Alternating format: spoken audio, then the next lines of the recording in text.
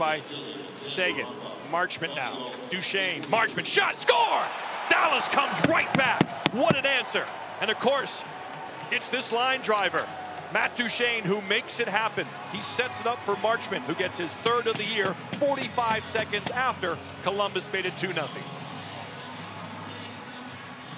This is the response you want if you're the Dallas Stars. You got to come right back, try to get that momentum back in your side, and it's a turnover at the blue line. Seguin pinches there down, pressures the winger. Nice little give and go back to Marchment.